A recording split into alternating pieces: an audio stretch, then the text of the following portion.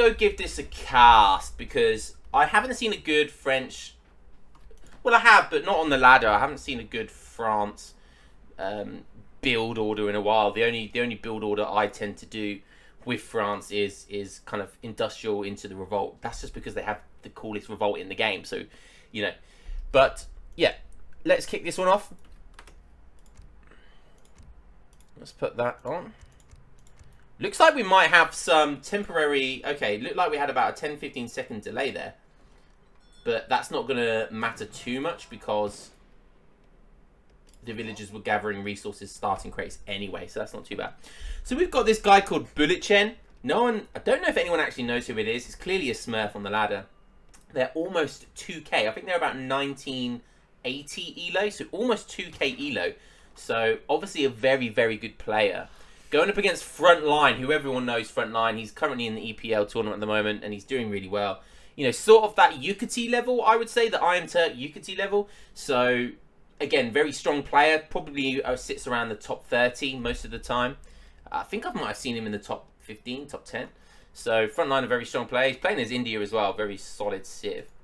So, we'll see what we're going to get this game. I reckon we'll get a very solid build order from France, which I'm going to be keeping a close eye on. But as frontline, interesting to see what we're going to see from frontline because this map I don't feel like is particularly good for India. Main reason being is where on earth are they going to put the Agra Fort? Like, where are you? There is no room to put an Agra Fort on this map. You like, you definitely can't squeeze one in here. Maybe one here, maybe not, but it's just going to be off-center, which is never what you want to do as with an Agra Fort. You always want it in the center of the map, take that map control. So maybe we won't see an Agra Fort. Maybe we'll see the, the more boomy Karni, Karni Mata with India here. Playing very standard, going for that distributivism. First card. Getting 90 wood. Peasant weaponry. Okay, interesting. That's a lot of wood for a peasant weapon, but uh, yeah, that's going to be very good. It's very good for India as well, because obviously they build villages with wood.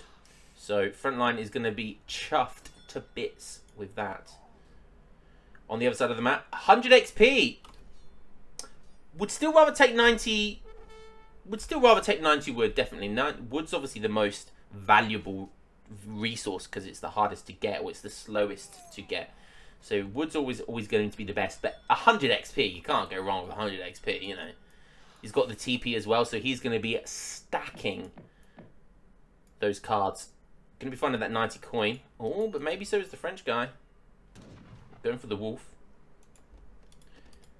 So there we go. We are going to see the Karni Mata. Might have been in the back of his mind to want to do anyway, but having this map does definitely limit the option of going for the Agra. I mean, you could do an in-base Agra, but that's you, you tend not to want to do that. So, very nice pickup for India. I've always said I think India Explorers are so lame because they're so good. Because they're essentially two cav units. Two cav units that can each stun a Treasure Guardian. So, kind of insane. Much more efficient than an uh, a European Explorer. So, that's going to be a really nice pickup. So, definitely Frontline winning the Treasure War. Going for some Market Architects now. Let's take a quick look over to Bullet Chen. Lots of people on wood. He's got a certain amount of food. Maybe he's got a build ordering plan. Wow, so one herd, two herd, three herd. Okay, that's not quite a good herd, but that was an interesting shooting backwards. Wow, so these herds as well, actually, not that great. This map's kind of known for being a bit iffy with the herds. They could, they could literally, they have a mind of their own. They could tend to walk away, and if they do that on this map, yeah, you're going to have a hard time herding it in. Definitely going to need to get those sheepdogs, those shepherds. But let's see what he decides to spend his resources on. Market going up, but quite late. He could have been building that 30 seconds at least faster. Oh, hello, hello, hello. We're not getting any normal build orders. The House of Oldenburg. Looks like he's going to be getting for another TP as well. So we could see an early stagecoach. Hunting Dogs does come in. He's chopped a lot of wood. Aged up with the Quartermaster. Four Vills is the first card. He was spamming that card, okay? You know it. Okay. Has he used... Wow, so he's actually used economic theory. Do my eyes deceive me? I did think, right, he had a starting TP. He has actually used economic theory. I am shocked to my core. Let's just take a quick look. When he gets another card, I'll be 100% sure, but this is this is perhaps the greediest play I've ever seen. Now, one thing to mention about Oldenburg, one thing to mention about Oldenburg is that they can produce these guys, Royal Huntsmen, which basically can act as a villager on natural resources. Certainly on food. So we see he is building them. Yeah, so it's only animals so that he can hunt from. So yeah, he's going full greed. Stagecoach is coming in as well.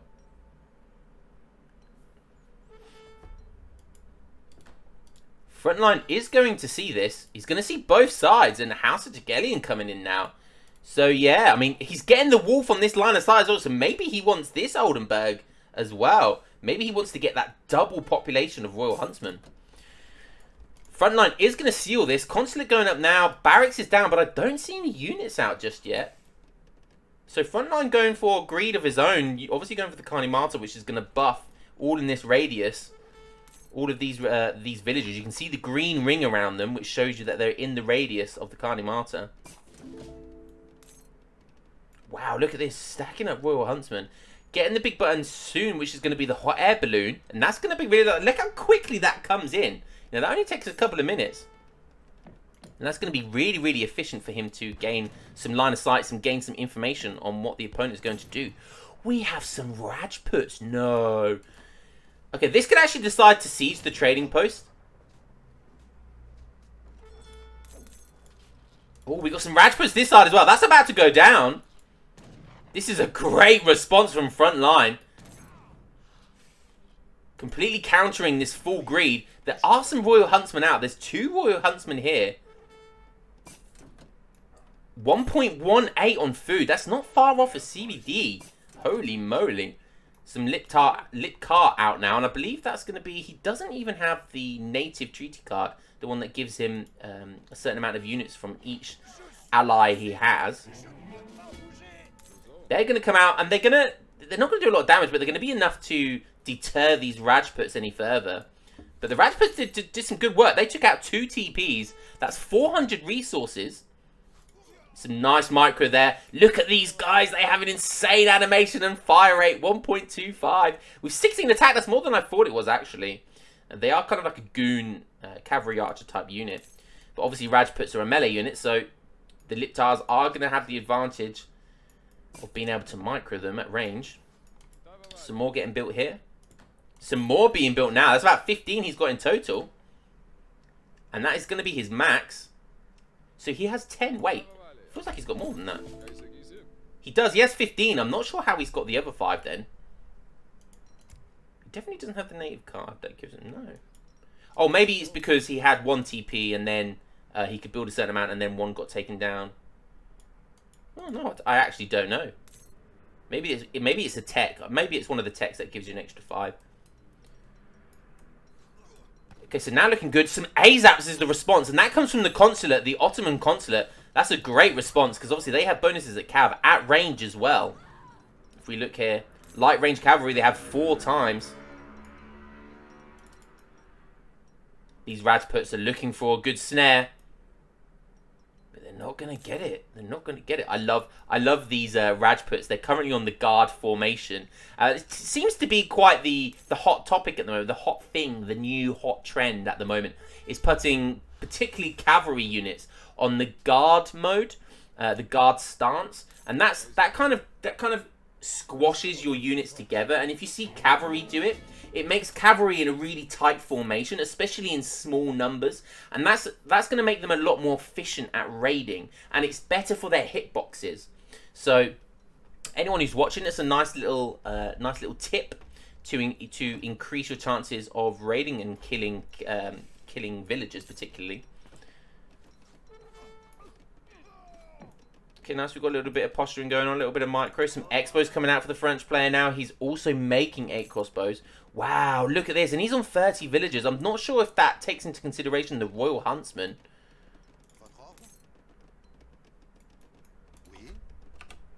Perhaps it does, because he's on 28, and we saw those two Royal Huntsmen earlier.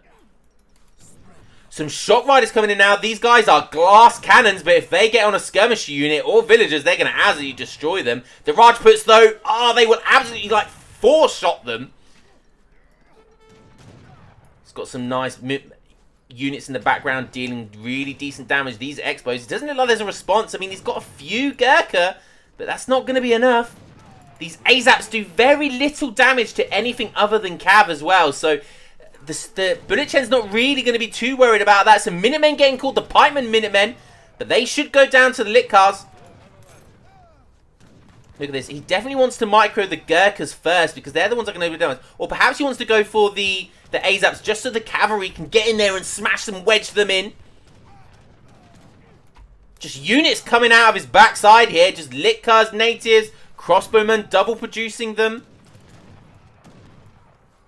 700 gold now coming in. Not sure what he's going to spend that 700 gold on. Perhaps more natives and more shot riders coming in. That could be the perfect. As long as he takes down the AZAPs, he really needs to micro those AZAPs. Once they're gone, these guys, these shot riders are going to do some decent damage. Look, he's, he's attacking villagers and that's not what you want. Bullet Chen, you've got 2k elo. You should have better micro than this. They finally go down, but it's just going to be such little HP left in them. Frontline is age 3. He does now have Disciplined Gurkha. Big boy Julian coming in. But he's not really going to do much. Could have been useful earlier on in the fight. The 700 gold has now come in for the French uh, French player. Is he going to decide to age up with that, or is he going to decide to make more units? It's always the, the age-on question. Score looking very favourable for Frontline. Frontline's obviously gone greed himself with the Wonder choice. He's now got the trading post with Stagecoach. And that's a very safe Stagecoach as well because it's behind his base. So it's always a really safe bet to go for Stagecoach. Double TP on this map. Concert is down. Doesn't look like there's a flag on there. So it was an Ottoman. Oh, sorry, that's the barracks. I need to get some glasses. I need to get some two Specsavers. I was about to say, it's about the sort of time that he wants to start getting the Brit consulate down, and he does have the Brits down now. That's going to buff all his units. Some really nice raining going on in the back here, but these guys aren't exactly known for their high melee damage output. Yeah, they're not going to really do too much. Oh, and the Mahouts just absolutely obliterate them. Look at this. Oh, God. It's like Daddy's getting the belt out. Look at that. Oosh, God. I said that's five units down. They're, they're not cheap, those guys. They're not cheap. Looks like he's cleaning up some Royal Huntsmen down here. That is unfortunate. Scores, he's bounced back somewhat. He is starting to age up now. What's he aging up with? The Marksman! You've got a shipment! The Madman's not even aging up fast! The balls on this guy. The utter balls on this guy. Holy crap. How he walks around with balls that big, I do not know. But we'll see if it pays off. We'll see if it pays off. Oh, another TC now for Frontline. I hear music. I hear music. It looks like it was the balance of powers. I have no idea what he just called. Oh, no, it was the hot air balloon. He's caused the hot air balloon. If we look at his line of sight right now, look at this. Why why are hot air balloons not used enough? I love hot air balloons. They're not used enough.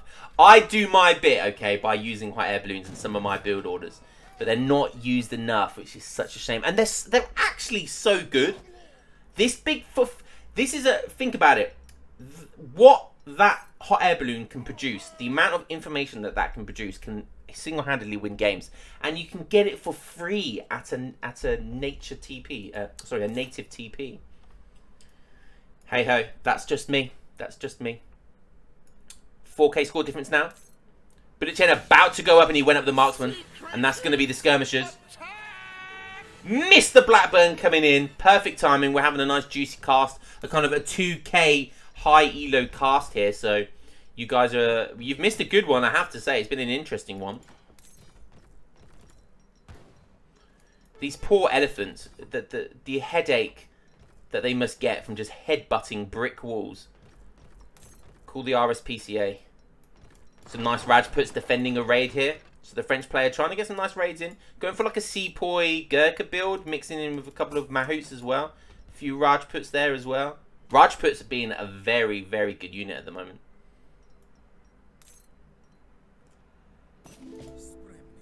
Okay, the French player now kind of got a nice mix now of his own version of Skirmgoon. Lots of expos though. I wonder if he's gonna if he's actually gonna upgrade those expos. It would definitely with with 38 expos. That's actually a lot of expos. It would definitely be worth getting the veterancy tech with them. It's probably even worth, especially with the build order that he's got, just actually going for expos anyway. Yes, they don't have as much range as conventional skirmishers, but they're kind of a soft counter versus skirmishers. They tend to have, uh, if we look at the base attack, I mean, that this is not veteran, but that's 16, whilst these Gurkhas have 20. So yeah, they're, they're, they're, they're a soft counter in the sense that they're, they're a much cheaper unit. So, oh, nice. Frontline wanting to get his own Jigelian. French player says, uh-uh-uh. There's the Tower of Victory, the Karni Mata. Hmm. Yeah, definitely got definitely got an Expo build here potentially. Wow. Okay, going for Wilderness Warfare. That's going to up the CBDs and the oh veteran skirmishers as well. Yes. Oh no, I was going to say and and his natives, but decided not to go for that. Going for two Falconets, which yeah, I think that's the safer bet, Sunshine. Okay, going for Kurz actually. Wow, he he really can't make up his mind. Interesting.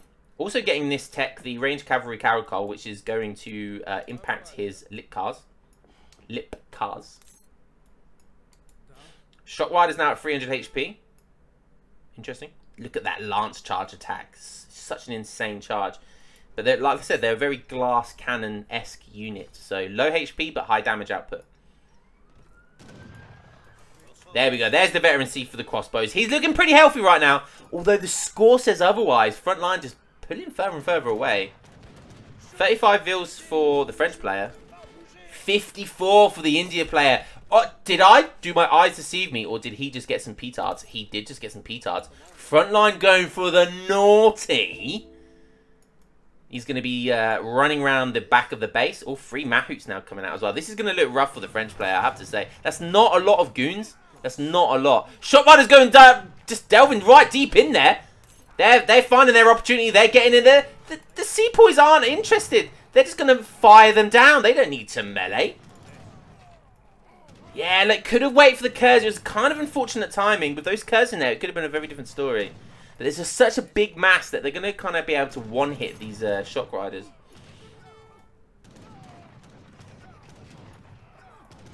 Okay, a couple of villagers going down. We do see some surgeons down there. Front line just absolutely having some fun here. Five Mahouts coming up the rear side of the Expos. Look at that quadruple kill. Oh, it's magnificent. And anyone that says Mahouts is a bad unit, that's how you micro, Don. That's how you micro. These are just going to absolutely wail on everything here. And the French player, I, I, I don't think is going to have inspirations out as well. Just perfect timing by front line. Two go down, three go down. There's one Mahout left. Oh, look at that. But at what cost? At what cost to the French and pretty much his entire army. And there's the GG. Perfect timing. Well played to both players. This Bullet Chen is a, is a 2k elo player. However, front line, man is a confident 2k player. And he's also playing India. I don't want to moan too much, but you know, the French player got out civ microed somewhat. India, just extremely good civilization. You know, practically the second best civ in the game, uh, arguably after Italy at the moment.